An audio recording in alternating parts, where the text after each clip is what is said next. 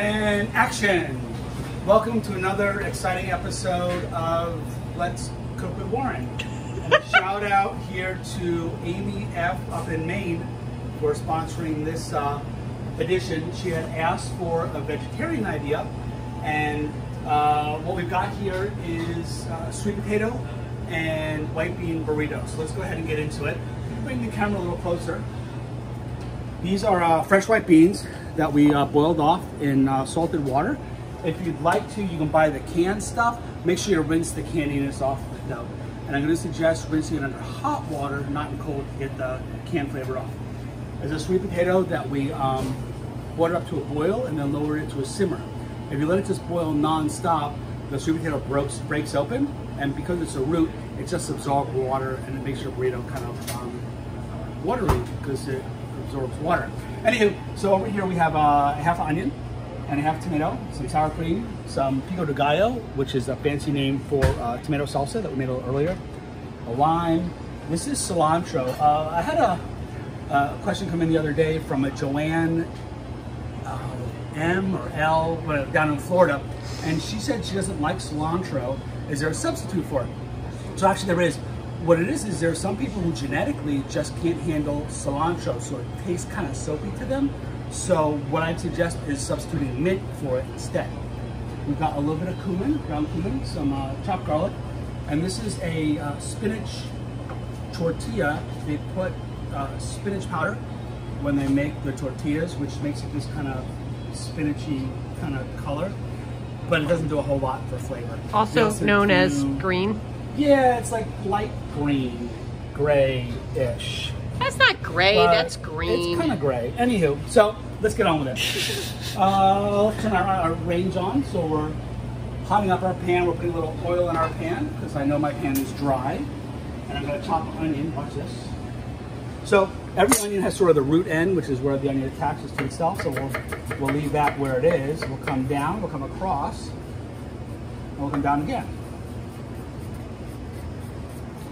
And Emily S. up in uh, DC has asked to do a uh, skills video, and we haven't forgotten that yet. And we haven't done it yet either. And we'll get to it, probably. So our pans be hot, and these are those really super thin pans, uh, like me, that I like a lot because they're so worn out. They get hot pretty quick.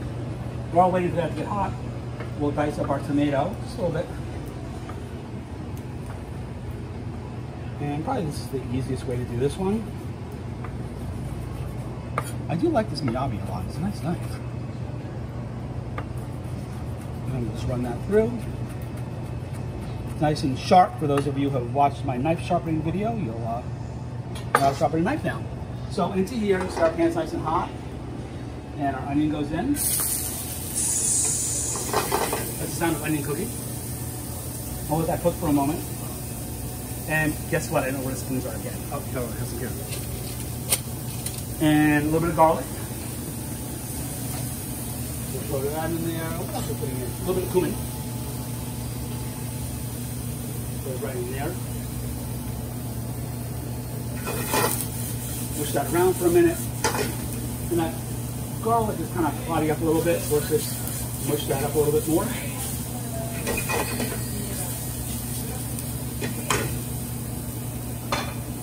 Smells good. And I'm to put that into our bowl of our cooked white beans. These are the cooked ones. And actually, let's salt this a little bit too. And pepper it a little bit too. So the pepper that we have here, you might notice it's, it's white. It doesn't uh, make specks in your food, and it's a little bit um, pungent tasting, a little more peppery tasting than a black one. And we actually we buy peppercorns and we grind them every day. So that's where that comes in. So we've got this here. We're going to add our tomato to it. I'm going to add our sweet potato. Out. It's hot, by the way. Um, yeah, hot potato. This part here, you might not want to try at home because my hands are just kind of used to. Ooh, that's really hot. Yes, we can tell by yeah. the steam. So what we can do here when it's too hot out is, um, and getting these eyes out of it, because again, the sweet potato is a root. So what you can do is if you have a sweet potato that you kind of forgot about in the back of your wherever you store your sweet potatoes, You can let it keep on growing, and it makes these really pretty vines. So, I digress. You don't need to see that part. So here's our sweet potato, our white bean, and our masher. Also known as the spatula. Yeah, well, I have a potato masher, which is what I do when I do this, you know, for the menu because we're mashing so much more. And I don't know if you all have one at home, and then people write in and say, "Oh, I don't have this at home. What should I use instead?" So we're just doing right with the instead part. So we'll mush that all together. Oh, it probably needs a little more salt. Did you wait till I got closer to walk away? Sure. Ready? Set. No, we're ready to go. Okay, so this is uh, cilantro. And again, if you don't like cilantro, mince okay. And we're gonna put in a half a lime. So what I'm doing is I'm rolling the lime around to help bust up the little uh, lime sacks that are inside the lime. Cellulose? So um, we're gonna cut the lime top to bottom and squeeze and turn it inside out. Get all that. So let's be honest, limes are expensive, lemons are expensive, all food's expensive. But anywho, so make sure you turn it inside out and get all that money out of it.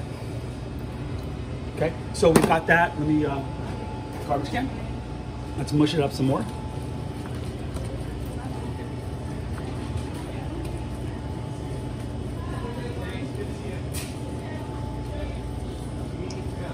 All right, so we've got that going on. Let's try it, see how we did. And I found my spoons. That's all right. This over here. So, we're gonna roll our burrito next. Oh, you know what I need? You know, can I have a plate, please? Yeah. Yeah, thanks, man. So, uh, there's our tortilla. And you can tell this mixing up for like a lot of people. And we're gonna put our uh, filling in. And ready? Thanks, man. And again, this is uh, thanks out to Amy F up in uh, Maine for this. Sweet potatoes grow in Maine? I know blueberries do, and regular so. potatoes do, and mooses do. But I don't know if, if sweet potatoes do. I'm sure some. Of the. So we have our stuff over here like this. We're gonna roll it over this way and kind of tuck your sides in. So if you see how I'm tucking the sides in, I'm kind of coming in this way a little bit. I'm gonna roll it.